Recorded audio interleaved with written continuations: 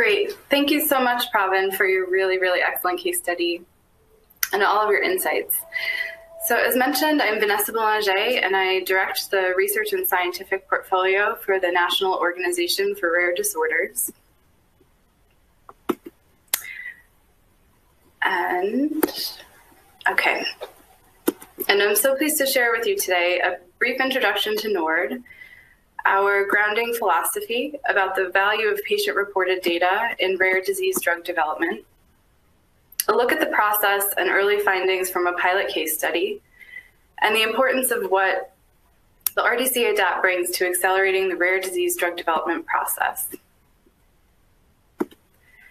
So for those tuning in today who may be less familiar with NORD, for over 37 years, NORD has led the way in voicing the needs of the rare disease community through advancing research, through supportive policies and education, through community engagement, providing patient and family services for those who need them most.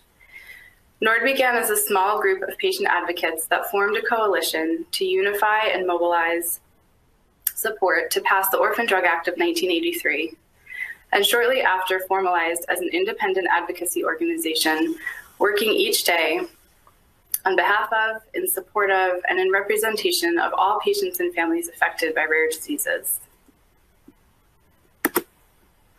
It's this uh, foundation and perspective paired with a deep understanding that in order to drive treatments for rare diseases, we need data on the natural history of rare conditions that informed the design of and led NORD to launch the I Am Rare program in 2014.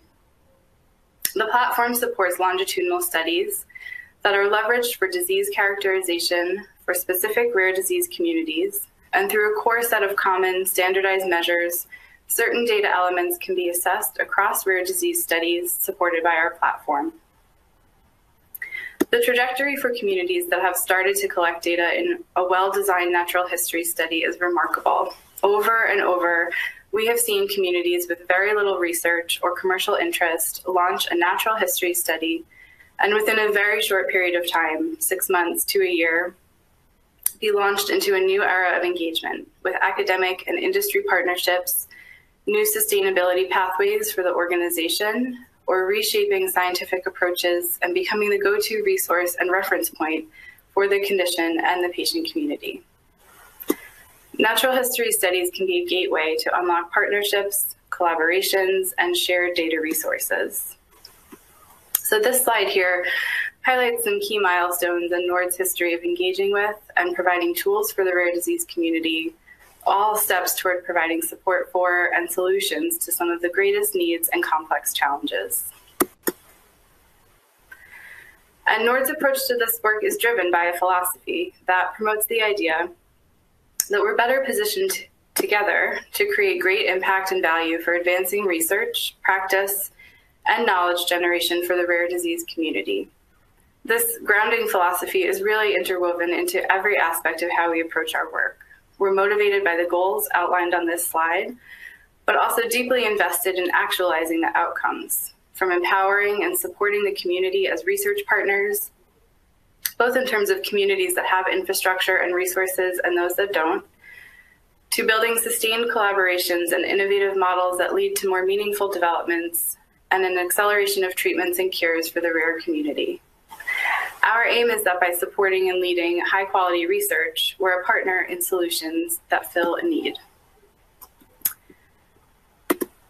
So it's these foundational goals for the I Am Rare program, in particular the two highlighted here, that are really aligned and intersect and complement with some of the goals of the RDCA DAP initiative, which provides an extension for expanding the use, utility, and application of patient registry and natural history data in addition to other data types as well. We have many reasons to judiciously and thoughtfully leverage resources to reduce burden on patients, and one approach to this is data sharing and bringing together data and information that we have available now in order to expand our understanding of disease characterization while new data and tools are also being generated.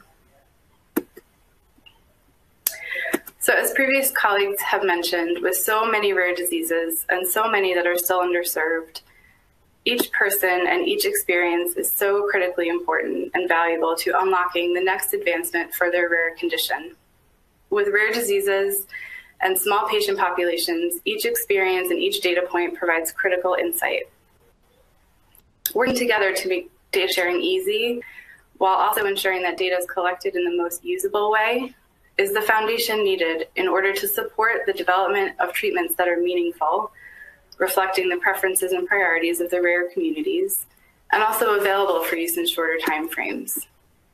In other words, it's through this patient-driven data that we arrive at a better understanding of rare diseases, what matters to people, what we need to measure, how to design studies, and develop the most impactful treatments. Rare disease patients and families are powerful contributors of the information that researchers need to accelerate scientific advances and they are active, strong advocates. Truly, the power of patients cannot be underestimated. This is a motivated community, and as researchers, we really need them to be engaged.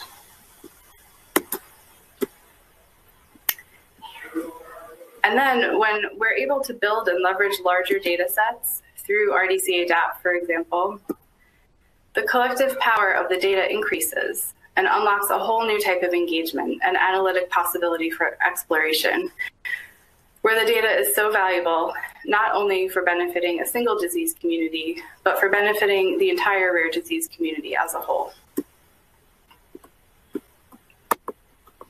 Okay, so with that foundation and backdrop, I want to turn specifically to these two highlighted data types, patient registry data and natural history data, and a case study walkthrough of initial engagement with the phenylketonuria or PKU community and the National PKU Alliance specifically as a pilot data contributor.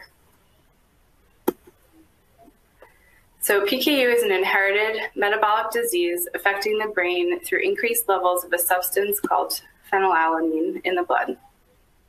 PKU infants in the United States are diagnosed in the first few days of life through the federally mandated newborn screening program. There are roughly 16,500 people living with PKU in the United States today. The National PKU Alliance was formed in 2008 with the goal of improving the lives of families and individuals associated with PKU through research, support, education, and advocacy, while ultimately seeking a cure. And in January of 2017, the organization launched their patient registry, which is a longitudinal study with open enrollment, currently engaging with approximately 1,200 participants who range in age from three weeks to 68 years and represent over 20 countries. So in a pilot analysis of the PKU data, these are just some examples of the type of data explorations that the tools in RDCA DAP can support. So understanding the population, different treatment types, efficacy, subpopulation groupings, for example, which are useful for informing clinical trial designs and treatment protocols and characterizing the disease.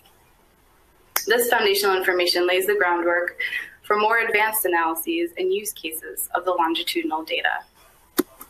In addition, the type of tools and analysis that will be available in the RDCA DAP platform can help to answer questions that are important to, the, to researchers and the community. For example, the highlighted box on the slide here um, is one of the research questions that is important to the community. And with multiple data sets for PKU, the power of the data increases exponentially, adding accuracy to models that look at disease progression, variants, and clinical trial optimization. These are some of the important contributions that RDCA DAP can make to support the acceleration of drug development by introducing greater certainty and informing the design of clinical trials that leverage human, financial, and time resources efficiently. And on this slide, you can see a cross-section of patient experiences with PKU diets, where most participants reported actively and consistently following a PKU diet over time. So just to sum up, the PKU case study is one example of the sort of insights that patient registry and natural history data can bring to RDCA DAP. And you'll hear additional insights from our panelists later this afternoon. Designing RDCA DAP to overcome some of the persistent challenges to rare disease drug development is a priority so that as a rare disease community, we can collect better data, design better trials, and get treatments ready for approval faster. By bringing rare disease data that has already been collected together in a central location, RDCA DAP aims to promote an in-depth understanding of the characterization and natural history of a rare disease, accelerate our understanding of rare conditions, and encourage commercial or research interest, encourage innovation and the refinement of clinical trial designs so that resources are utilized efficiently and trials are planned with inclusivity and accessibility in mind, and promote the sharing and expanded use of existing data, opening opportunities for within and across disease discovery. So RDCA DAP will be a success through collaboration of stakeholders. So really all of you, thank you for tuning in today and for joining us. And a special thank you to the National PKU Alliance for being an early data contributor to RDCA DAP.